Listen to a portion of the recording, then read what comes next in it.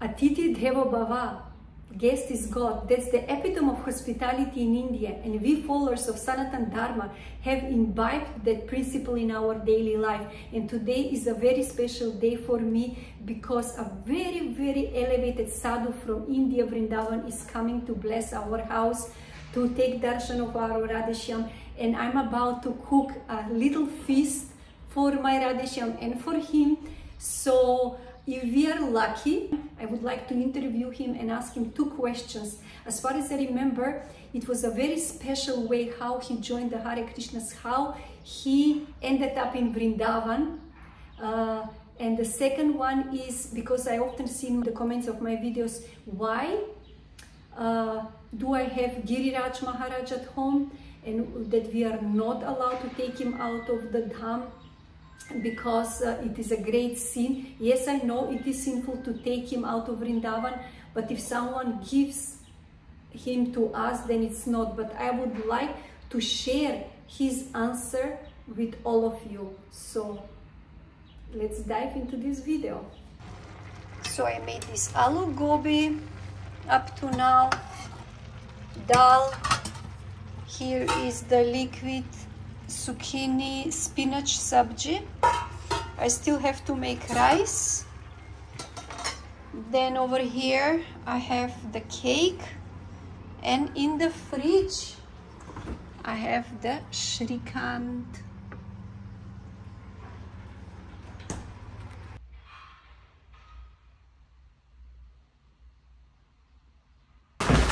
Hare Krishna Gurave Chandraya Radhikaya Tadalaya Krishnaya Krishna Bhaktaya Tadabhaktaya Namo Namaha. So this is a very wonderful mantra offering obeisances to Guru, Gauranga and Srimati Radharani Krishna Krishna's devotees. And all the devotees, we show respect to everyone who has some belief in God, uh, who is interested in spiritual life. But first comes the spiritual master, because without the grace of the spiritual master, it will be difficult to advance in spiritual life. Uh, yes, so I've been asked to tell my story. I mean, I cannot tell my whole story because otherwise we'll be here this, till this evening. We'll keep it short and just how I came to India the first time and the second time also.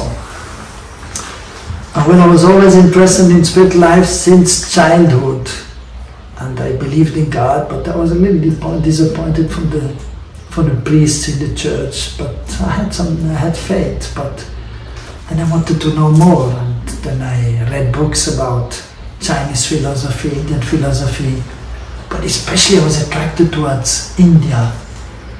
And I was always thinking, I have to go to India. Mm-hmm.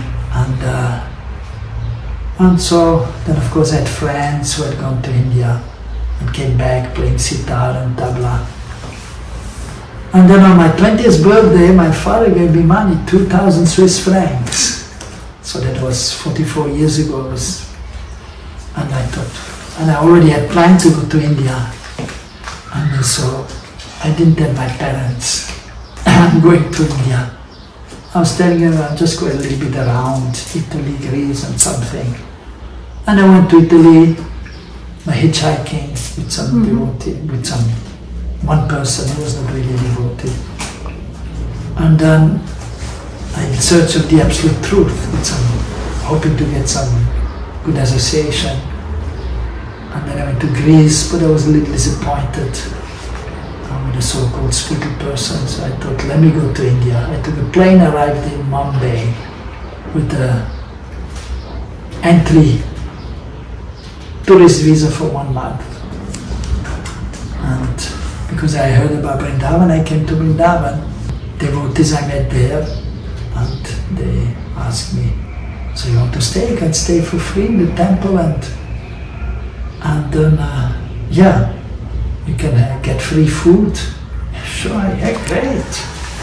Okay, so but you have to do something. Yeah, you have to have this kind of clothes we're wearing. Yeah, no problem. Seems kind of cool and then you have to shave your hair. I had long hair. Shave the hair, yeah, it's okay, it's okay. And I shaved up and I stayed. and quickly learned everything. All the songs they were chanting in the morning, I a good memory at that time. And then uh, I went to Nepal to get a, after one month, to get a new three month visa and, and apply the same time for one year entry visa, which usually you don't do, but the person there was kind, and said it's okay. You come back after three months, you don't have to wait here. And so I went back after three months, I came back and had some nice experiences, but I'll keep it short. After six months, I thought, well, maybe I should tell my parents something. and my parents, my sister told me later on, after 10 years, they were very worried. And, you know, but it was an adventure. And, and they, they went to the police and, and they were looking for me in Switzerland. They couldn't find me because I was in India. and after two months later, they called Interpol. Oh my God. but they didn't find me either because I was in Vrindavan. and yeah, and I went to Nepal, but I was crossing, you know, the border there by bus, and so they never got me. But then after eight months, I finally, well, yeah, yeah, six, seven months, and them. fortunately the letter arrived because at that time sometimes letters were not arriving from India coming to west to, to the small village Vrindavan. And then they were kind yeah, they were happy that I'm still alive and so everything went, went well. So wonderful experiences were there when I first went to India and I learned so much very quickly. Of course I had some difficulty with my health. So therefore I went back to Switzerland. I stayed in Switzerland one year which was a nice experience, of course, also in the temple, Zurich temple, and then I went to New York, big city, mm. and uh, so I stayed there in the temple. I was supposed to go for a visit for one month, but then they asked me to stay and serve the duties there and and do some preaching to the Indian community because I had learned Hindi well. So and I stayed for three years. And then, but I was desiring to come back to, to Brindavan because it is the most wonderful place. Of course, it changed a lot mm. uh, the last 40 years. Before it was a simple little village, and now it's a kind of small city with traffic jam. But still, it is wonderful. So when I came back, I was single that, celibate, and I arrived in Delhi with my luggage, check-in luggage and one luggage for the devotees in, in Vrindavan. And uh, so could have gone by taxi, but I wanted to save some money and because sometimes there was some traffic jam because the road was at that time uh, not the highway, it was a single way. So I took the train, I reached in Mathura, I got down at the station and India's most wonderful place, incredible India. You see the best and the worst. so I come out of the train, put the luggage, the two bag, heavy bags down, okay. Oh, my shoulder bag is inside the train, and the train is just leaving. So I have the choice to jump on the train and get my shoulder bag. In the meantime, because people are already there, thieves waiting to steal some bag of somebody who's not a detective. So I thought, well, I cannot do that because, you know, somebody else's things are there also. And the train is going, okay, my bag is gone with my passport and all my money. Oh. I thought, anyhow, at least I have my two bags and I'm happy to, back in, to be back in Vrindavan. Went to the guest house, and ready to go to, to the embassy the next day and to give a, report also, a police report. Ah, but then some devotees were telling me, we're going to Varsana tomorrow. You want to come? Sure, we're going to Varsana, Radharani's place. I'll go the after tomorrow to the embassy. I went there happy and then come back and then at the reception of the guest house, there's one person from Gwalior waiting for you which is three hours after Mathura. A person from Gwalior, I don't know anybody in Gwalior. And the person is there with my bag. In India, it's almost unbelievable. Almost unbelievable. Usually you drop something on the floor and people are watching. You walk a few steps and then, oh, my wallet is on the floor. You look back, the wallet is gone. what to speak of giving back to you. So, and you cannot leave the things. But this person was a kind of nice person, right? He was in the same compartment and so he came with a bag and my passport and all the money was there. A few hundred dollars. And I had changed hundred dollars and had uh, some dollars and I had maybe five, six thousand rupees. So I was very happy and I said, what can I do for you? He said, I have my daughter's marriage after two months, after Kartik. Maybe we can give a little donation you know, towards the marriage. Many expenses are there in India for the marriage of the daughter. I said, sure, take all my rupees. He was happy and I was happy. Hmm. I got back my passport and my dollars hmm. and I don't have to go to Delhi. And so that is a nice thing there. Hare Krishna. Hare Krishna. And can you say a few words if we are allowed to take Giriraj from Vrindavan, out of Vrindavan? Or uh-huh. not? Oh, if you can take Giriraj Yes. out of Vrindavan. Yes, many are wondering. Giriraj is always in Vrindavan. Just like Krishna is always in Vrindavan. Krishna does not take one step out of Vrindavan. Radharani does not take one step out of Vrindavan. Balaram is not going out of Vrindavan. Giriraj is not going out of Vrindavan. Then somebody may ask, why but Krishna went to Mathura? That is actually Vasudev Krishna. Vasudev Krishna is the expanded form of Krishna. Krishna appeared in Mathura as Vasudeva uh, Vasudev Krishna and in Gokul as Yashodananda Krishna. Hmm. And Krishna's father Vasudev took his child, they appeared on the same time. The Supreme Lord in Mathura and in Braj. Many people in India they don't know, but it is mentioned in the scriptures. So you have to hear from the persons who are highly advanced and realized. So Vasudev brought his son, Krishna, to Nanda Bhavan. It was night time, everyone was sleeping, Mother Yashoda. And so she had, oh, Krishna appeared there first, and then she turned around, and then his sister, Yogamaya, appeared. So she, Yogamaya was in front of Yashoda, and Krishna was in the back of Krishna. Then Krishna's father from Mathura, Vasudev, put his son and he took the girl and put his son. And he didn't see Yashodananda Krishna behind Mother Yashoda. So then he left home with, uh, he went to the prison house in Mathura where he was and with the daughter and that story everyone knows. So, but this story nobody knows or hardly anybody. Then Vasudev, Krishna from Mathura, merged into Yashodananda and Krishna. And by the way, when Krishna is killing the demon, mostly it is Vasudev Krishna who is killing. And Krishna is just enjoying in, in Braj. So Vasudev Krishna is there in, in Krishna, and even Vishnu is there in Krishna. And sometimes Vishnu is killing the demon.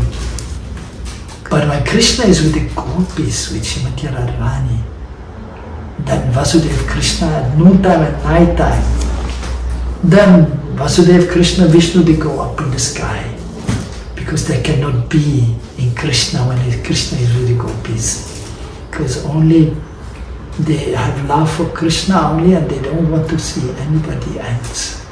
And they have no relationship with anybody else.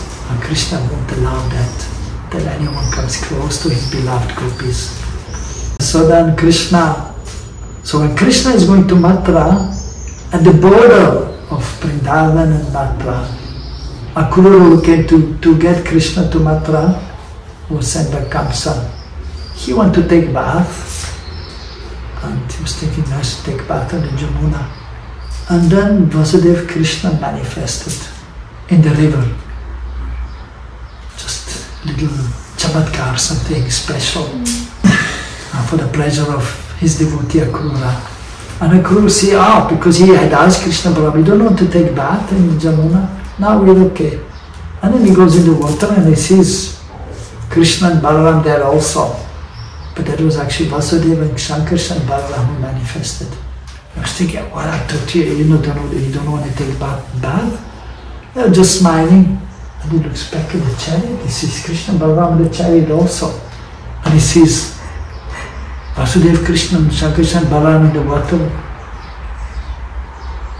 And then they're smiling, and then he realized the whole thing. And he went back on the chariot, and then this Krishna Balaram, who were there in Krishna Balaram, the original Krishna Balaram, they're always in Braj. And so Krishna Balaram, the expanded form of the original Krishna Balaram, they were in Mathura, they went to Dwarka. Mm-hmm. And then later on, the bridge Brijabasis, they Krishna. Mm. And the Dwarkavasis at Kurukshetra. So, and then when Krishna goes to Mathura, then Radharani is there, but not the original Radharani. She's also not manifest when Krishna is not manifest in Braj. And then Viyogini Radha is there crying and crying and crying. That is an expanded form. Because Radha Krishna, they're always together. I'm keeping it short. More to say, but and then Radharani meets Krishna in uh, in Kurukshetra. And so that is Samyogini Radha, an expanded form of the original Radharani, and that is Vasudeva Krishna. They meet, but they, the Krishna knows everything. In Braj and Krishna in Dwarka also, they know each other. They're simultaneously one and different. So with material intelligence we cannot understand, but by spiritual intelligence given by the Lord, by our being devoted to Him, by chanting the holy names of the Lord, then we can understand things. So similarly, uh, so the point is that so Krishna is always in Braj, Radharani is always in Braj. Uh, Giriraj is always in Braj. Therefore, the people say you cannot bring Giriraj out of Braj, which is true. You cannot bring Giriraj out of Braj. He's always in Braj. Now, but uh, so therefore they will say, no, no, you cannot bring Giriraj out of Braj. Yeah, sure, we agree. But then we can see that Chaitanya Mahaprabhu, who is no different from Radha Krishna, he was in Puri. And he was always in Brajabhav. He was seeing the ocean, he was remembering Jamuna, jumping into the Jamuna. He was seeing the sand dune, sand dunes in, in Puri, and he was remembering Govardhan. And he was seeing Jagannath, who is Dwarkadish, but in the mood of Krishna and Braj, remembering his pastimes in Braj, Mahabhav Prakash. And then, so, he was sometimes seeing Jagannath with the big eyes in Puri, but mostly he was seeing Krishna. And he was calling out to Krishna, Krishna, Krishna, where are you? Because he came to give the holy names, the Yuga Dharma, but he came to give Brajabhav. So he was always thinking about Krishna and Braj, and he was seeing Krishna and Braj and Radharani, the gopis, and speaking about them, Giriraj. So then one devotee wanted to give something to Mahaprabhu thought that I want to give this Govardhan Shila to Mahaprabhu. So, because Mahaprabhu is always in Braj Bhav He's always in Braj and uh, so you cannot so uh, actually the spiritual realm is transcendental to this material world always.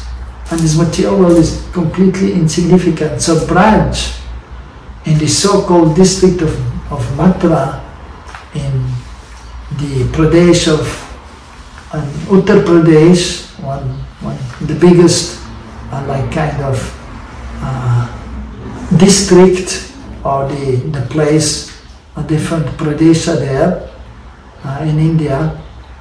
So the biggest place, so inside there, so district Mathura is where Braj is situated, so to say, in India, Bharatvarsha. But that is, uh, so it is manifest there, and, but ultimately it is unlimited.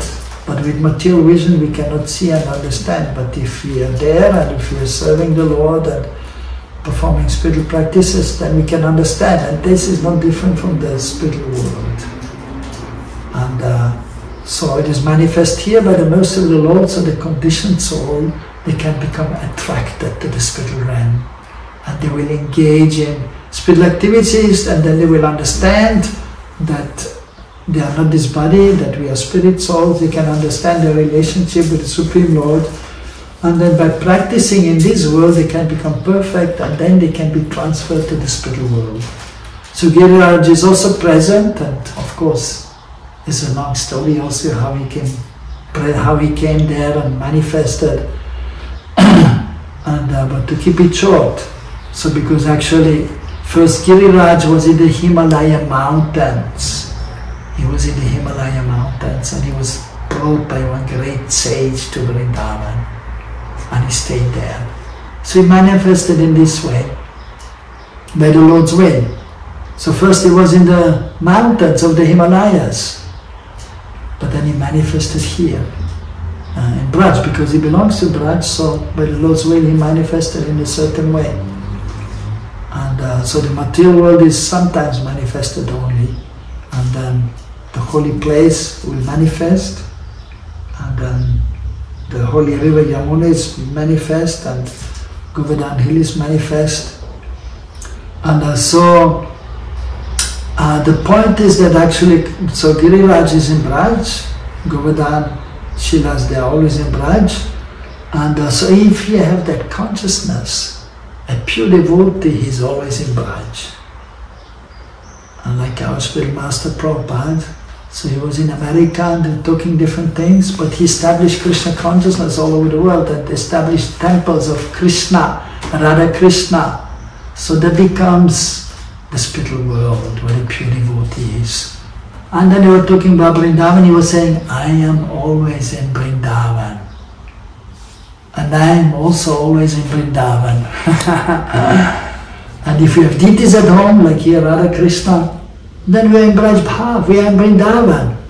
And it is just like American embassy or any embassy.